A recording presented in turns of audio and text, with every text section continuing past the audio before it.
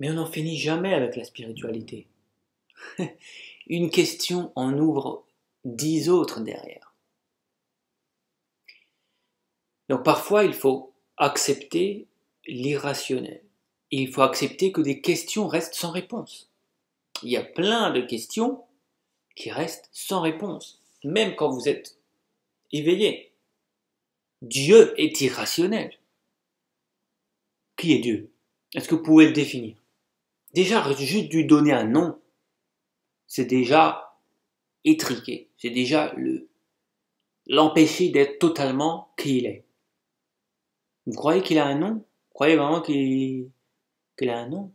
Qui s'appelle Dieu Qui s'appelle Allah Qui s'appelle l'univers Qui s'appelle le Créateur? Non, c'est des mots que nous, humains, on essaye de trouver pour décrypter ce que ça peut être. Mais même un grand maître spirituel qui, arriverait à se connecter directement à Dieu, il ne peut pas lui donner un nom. Il ne peut pas le décrire. Parce que si, s'il le fait, oui, et on le fait, parce que le mental, il veut le faire, il veut trouver des mots, ben c'est réduire, c'est réduire sa capacité. Et tout est basé sur cette loi quantique qui est totalement irrationnelle. Il y a les polarités dans tout, comme vous le savez, le bien, le mal, le noir, le blanc, etc. Mais dans tout, il y a des extrêmes, même dans la spiritualité.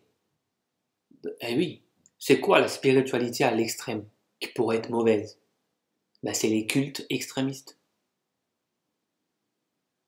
Quand on est trop en extrême, dans quoi que ce soit, c'est mauvais. C'est comme quand je vous ai dit dans la précédente euh, leçon, avec les deux hémisphères cérébraux.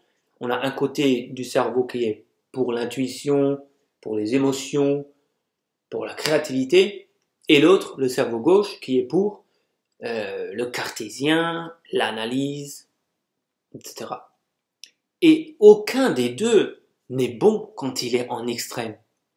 On peut dire que le côté droit du cerveau est meilleur parce que c'est la spiritualité, c'est l'émotivité. Et si vous êtes à l'extrême là-dedans, vous ne pouvez pas agir correctement sur Terre. Vous ne pouvez pas vivre, vous êtes un assisté. Il faut qu'il y ait quelqu'un tous les jours à votre chevet pour faire les choses matérielles qu'un être humain doit faire. Donc il faut le mélange des deux. Il faut les deux, mais pas d'extrême.